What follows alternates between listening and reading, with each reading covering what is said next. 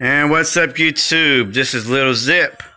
Uh, today's video is I'm going to show you how to hook up your solenoids for your airbag suspension.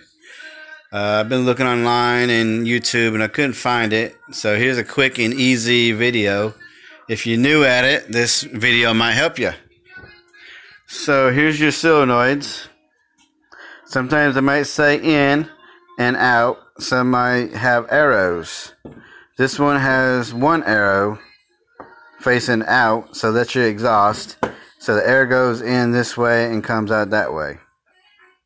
Uh, I got a 3 8 close nipple and a 3 8 T. This line goes uh, from your tank into here, so everything starts right there. Alright, and then here's your other solenoid, in and out. Got my arrow right here. So you want to hook it up like this. If you're worried about this uh, facing which way, you can loosen up this nut and you can move them around.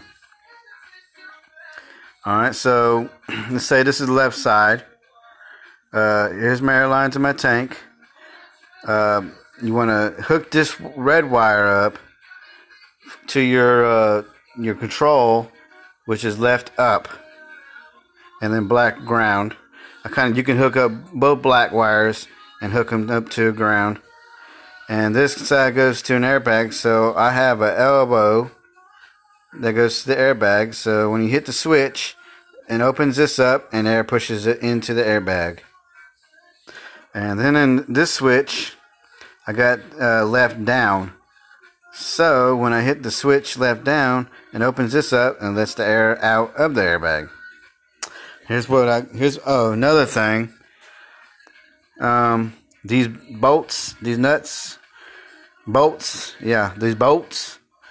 Uh, you want to make sure there's a tight, or arrows start leaking out of, out of these the seam here. Uh, I found that out when I was hooking everything up. So you want to make sure there's a snugged up tight. Uh, here's my little setup. Got my elbow into my airbag. So this is my airbag. Uh, here goes, here's the line to my tank. Here's a switch for a control. Uh, this one right here, this is the control up. So this opens, let the airbag, uh, air inside the bag. And this is let the air out, so it blows out this end here. Nothing hooked up right here.